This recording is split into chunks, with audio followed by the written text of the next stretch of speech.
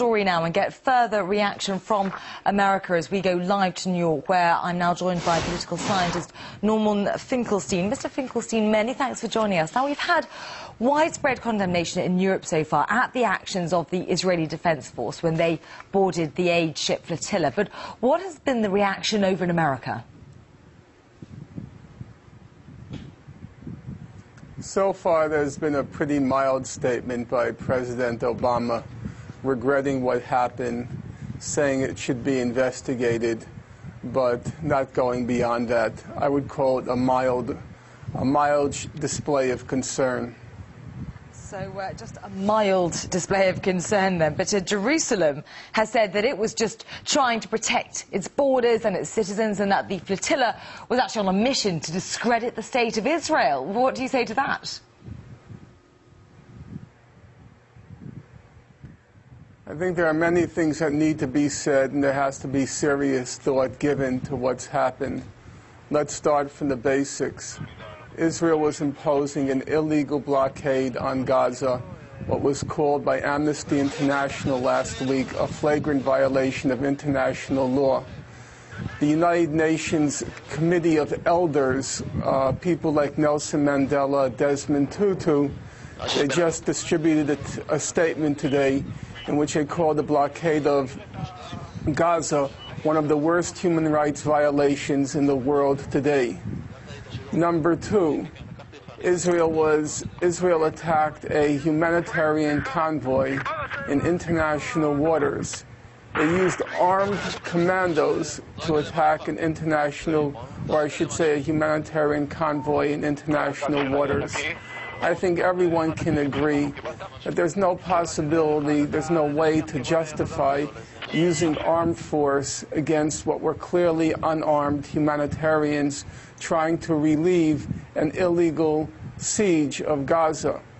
But to me, the more important question is this namely, during Israel's massacre in Gaza, December 2008 and January 2009, afterwards, Israeli officials were saying that they wanted to show the Arab world that they, they, that they were capable of acting, capable of acting like a lunatic state and like mad dogs, that they wanted to restore the Arab world's fear of Israel, and that's why they acted like a lunatic state and like mad dogs in Gaza.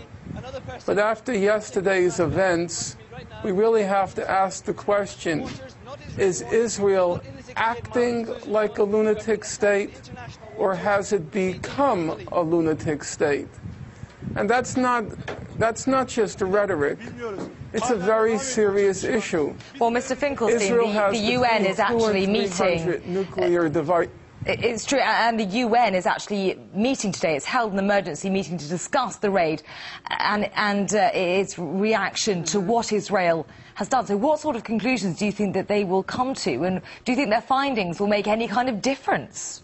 Well, I, I, well, I think the important issue is that what happened in Gaza, excuse me, what happened with the Gaza flotilla was not an accident. You have to remember that the Israeli cabinet met for fully a week.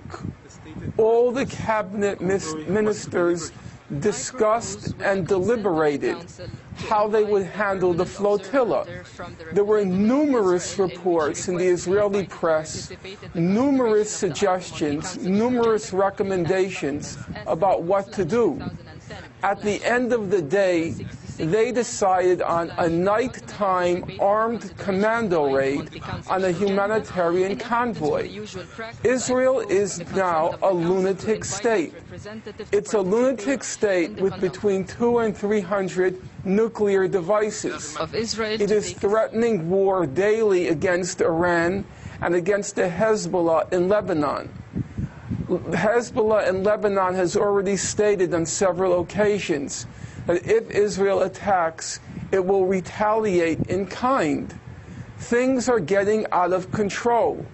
We have to ask ourselves a simple, basic, fundamental question Can a lunatic state like Israel be trusted with two to three hundred nuclear devices when it is now threatening its neighbors, Iran and Lebanon, with an attack.